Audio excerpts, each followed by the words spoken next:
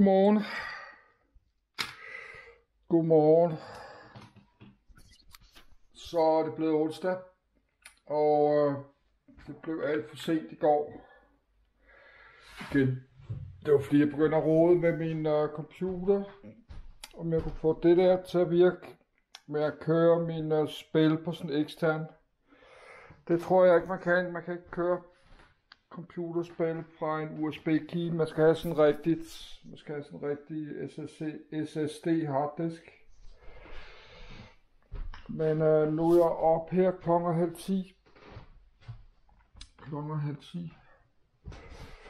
Så jeg har stadig øh, penge til mine øh, to elregninger. Og i morgen kommer min YouTube-penge. Så det går nok. Så jeg må starte derfra på en eller anden måde med min opsparing igen jo. Men i morgen kommer der næsten 2.600, så jeg må gemme øh, 2.500 i morgen. Det er så tirsdag den 24. dag. Jeg skal også huske at lave øh, sådan en Ukraine den, må, den 11. måned jo. Øh, Rusland invaderer jo Ukraine jo sidste år. Den 24. februar, så det er måned nummer 11. Jeg skal huske at lave sådan en video også. Man skal lige op nu. Lige have noget, øh, noget lys og luft ind. Så må jeg forsøge at komme øh, super tidligt i seng i dag. Jeg skal lige stille uh, kameraet her.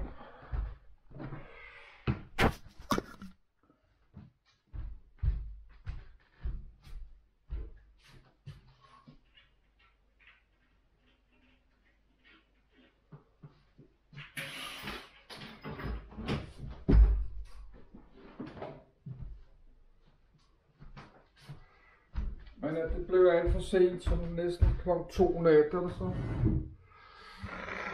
Hvis vi så tage noget tøj på.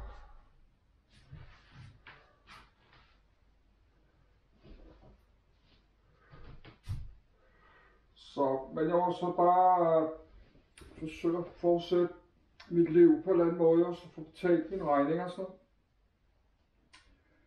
Så jeg fik jo betalt, øh, hvad jeg skal her i januar. Også mit første out, store afdrag øh, Raskat, så jeg tror, skattevæsenet har fået deres afdrag, fordi de, når jeg glemte at varme på her, jeg synes også, at det er lidt koldt, så ikke noget varme på der. Så det der, jeg glemmer også at putte varme på. Altså udover at jeg glemmer at skrue ned, så glemmer jeg også at putte varme på igen. Lad os få noget at drikke, men der er i hvert fald slukket her nu. Og slukke her, den er helt kold, for der har ikke været varme på.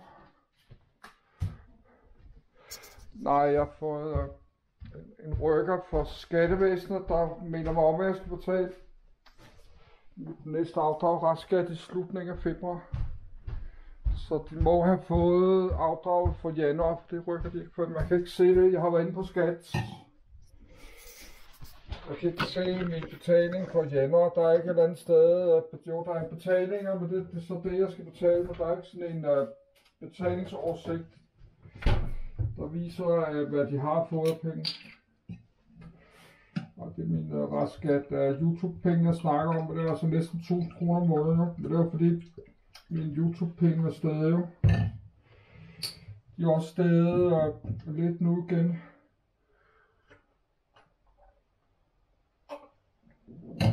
Så fra sommer af der, så skal jeg så til at gemme uh, halvdelen af min restskatten er jo cirka 40 procent. Så jeg skal til at gemme uh, cirka halvdelen af mine YouTube-penge.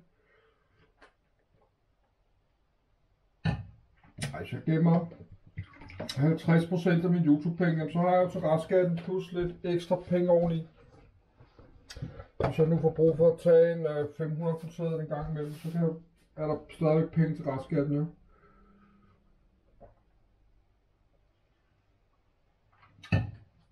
Ej, for eksempel nu, hvor jeg skal betale øh, næsten 1000 kroner om måneden, så kan jeg også tage hvis jeg havde gemt halvdelen af min uh, YouTube-penge, så kunne jeg jo så tage 1000 kroner derfra. Sådan en ekstra, en speciel opsparing til min, uh, til min restkasse. Men det må jeg gøre, det må jeg gøre for sommer, når jeg har de ekstra penge. Må se, hvad der sker. Det har jeg. Hvis jeg bare bliver her ikke gør noget, så siger nej til alle de der boligtilbud, så er jeg jo stadig her til jul måned.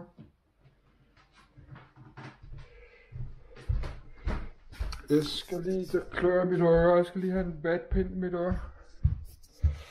Nej, hvis jeg siger ja til et bolig genhusning, og kommer til en bolig, der er mere dyr, så har jeg jo ikke ekstra penge. Jo. Så det, det, den, den her vaseline bliver ved med at falde på gulvet. Det kan ikke stå der. Bliver ved med at falde på gulvet.